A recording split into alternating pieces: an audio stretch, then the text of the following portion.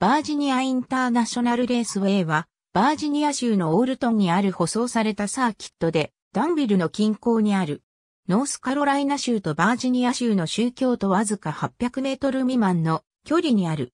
ビアでは自動車とオートバイのプロとアマチュアのドライバーのためのイベントと運転教室とクラブの催しとプライベートテストのためのコースの貸し出しを行っている。ビアでは同時に2つのコースで走行できるように6つのコースレイアウトを採用している。フルコースの距離は3.27マイルで、フルコースの内側に完全に覆われた形で設置されたパトリオットコースは1.1マイルのコースである。北コースは2.25マイル、南コースは1.65マイルの距離となっている。南北どちらのコースも同時に走行できるように、フルコース並びにパトリオットコースと部分的にコースを重複させて、南北の両コースが交わらないようにしている。南コースを走行するときだけ使用できるセカンドピットがある。最長のコースレイアウトとなっているのがグランドイーストコースで4.2マイルの距離を誇り、フル、コースとパトリオットコースの大部分からなり、南コースと北コースの一部をフル、コースとパトリオットコースの接続箇所として構成されたコースである。めったに走行されることはないが、もう一つのコースとしてグランドウエストコースと呼ばれるコースがあり、フル、コースとパトリオットコースの間のセクションをグランドイーストコースとは別の接続箇所を用いて構成されたコースである。パトリオットコースはフルコースの完全に内側に設置されているので、両コースは同時に走行できるようになっている。フルコースが最も標準的なレイアウトとされ、年間を通して最もイベントが開催されるコースである。このコースの見どころのセクションは、オークツリーコーナーに向かって入っていく際に、クライミングエスイズと呼ばれる最初の上り坂、右に曲がながら頂上まで登った後にわずかに左に曲がりながら一気に下り、再び坂を登ってわずかに下った後、登りながら左に曲がる箇所などが挙げられる。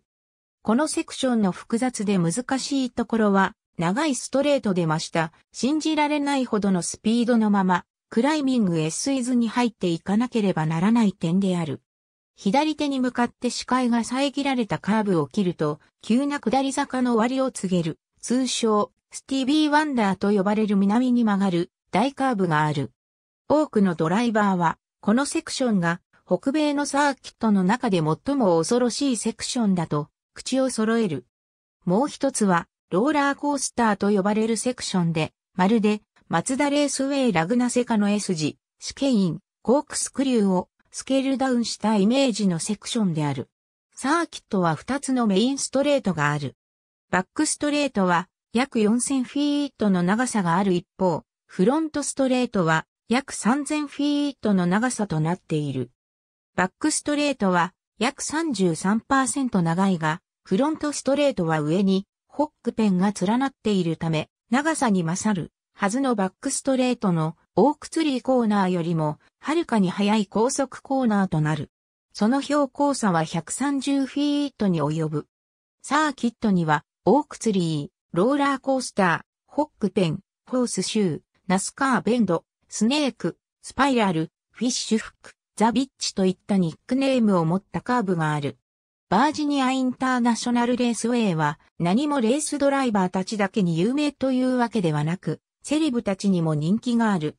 2010年に遡れば、イギリス BBC で放映されている自動車番組トップギアによって撮影され、そのシーズン16の一部として放映されている。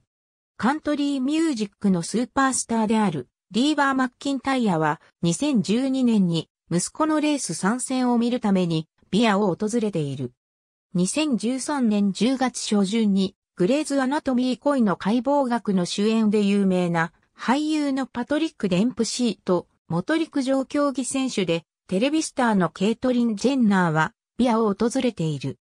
2008年のグランダムレース中のピットロードサーキットは1957年に当初のオープンを果たし、ブルドーザーを使った男たちの一団によって建設が進められた。エドワード・アレクサンダーはその一団の中にいた。サーキットは1974年に閉鎖し、2000年3月まで閉鎖の時期が続いた。2000年にニューヨーク出身のハービー・シーゲルがカントリークラブモデルを使って再開した。サーキットの会員資格が販売されている。ビアクラブの各メンバーはメンバーデーでのドライブ時間とすべての観客用チケットとその他特典を受け取れる。ビア会員モデルはアメリカ国中の他のサーキットを回った。バージニアインターナショナルレースウェイは少なくとも4人の死者が出ており、再開後からの集計でも3人が亡くなっている。最近の死者は2008年8月のオートバイレースの US ルーキーカップでの当時14歳のトリアーノ・ウィルソンである。1957年に始まり1964年に消滅したスカ、ナショナルスポーツカー選手権を開催していた。イムッサ GT 選手権を1971年と1972年に招致している。サーキット再開後は、北コースで2001年から2010年まで、アマスーパーバイク選手権が開催された。フルコースで2002年から2011年まで、ロレックススポーツカーシリーズが開催された。2012年9月のアメリカンルマンシリーズのフルコースでのオープニングイベントでクラウスグラフがドライブするマッスルミルクモータースポーツの LMP1 カーがトラックの新記録を出した。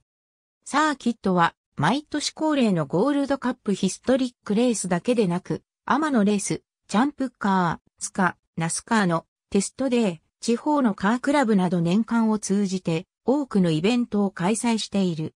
様々な運転トレーニングクラスはオンロードもオフロードも利用可能となっている。その敷地はゴーカート用のサーキットとしても開催される。2014年8月23日、アムズとロレックススポーツカーシリーズが統合されて誕生したユナイテッドスポーツカー選手権のレースを開催している。サーキットはナスカーのチームによって頻繁にテストデーに使用される。チームはワトキンズグレイインターナショナルとそのまレースウェイのレースのためにロードコースのテストを行っている。近年はバージニアインターナショナルレースウェイでナスカーの主要レースが開催されていないので練習セッションが課されない。サーキットは様々なマニュフェクチャラーの新車や車のアップデートのためのテストにも使われる。ビアの北コースは iracing.com から発売されたサプルカーチャレンジとフェラーリチャレンジ、トロフオピレリで使われた。また、フォルサモータースポーツシリーズにも登場した6と7。ちなみに、前者は DLC での追加、後者は最初から選択可能。こちらは全レイアウトが収録されている。ありがとうございます。